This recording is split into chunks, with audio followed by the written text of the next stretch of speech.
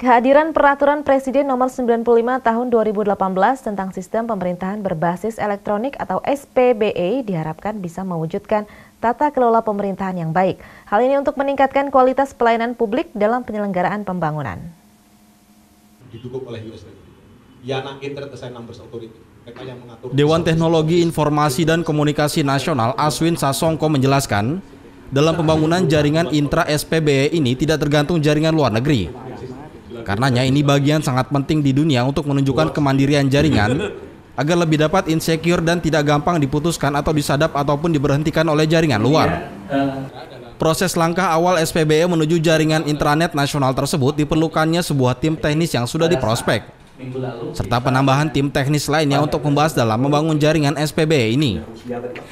Sasongko juga menambahkan untuk membangun jaringan SPBE menuju jaringan intranet nasional, tidak cukup hanya dibicarakan sampai manajer intra pemerintah saja, tapi juga Pemkap, Pemkot bahkan di seluruh desa-desa di wilayah Indonesia. Seperti disampaikan tuh ada masalah teknisnya, jaringan teknisnya, kemudian ada manajemennya.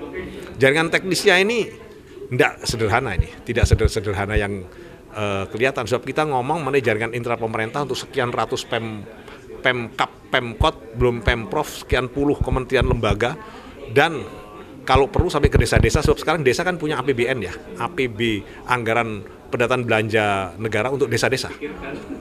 Untuk seluruh desa di Indonesia. Jadi artinya mereka juga memerlukan e-government ini jaringan intra ini. Tapi hanya untuk kabupaten kota saja sudah demikian besarnya. Untuk sekian juta orang. PNS-nya aja PNS itu 5 jutaan kan kira-kira. 4 jutaan atau 4 juta sekian. Dan ini perlu jaringan yang besar. Nah ini memerlukan jaringan yang kuat.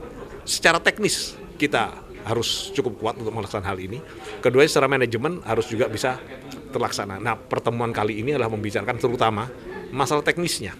Sebab teknisnya saja sudah cukup uh, sulit ya, sebab kita harus ngomong ada jaringan telekomunikasinya yang tadi disampaikan uh, tidak semua tempat loh punya jaringan telekomunikasi ini saat ini.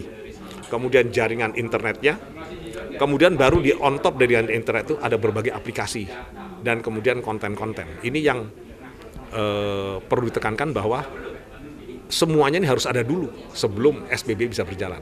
Karena itu tim nasionalnya yang dalam hal ini dikoordinasikan oleh eh, Menpan RB, kita harapkan bisa segera bergerak untuk membicarakan masalah teknis maupun uh, non teknis. Uh, harapkan juga untuk bisa ikut. Rosalia Suciati memberitakan dari Jakarta. Tapi ISPS kecil itu relatif semuanya connect dengan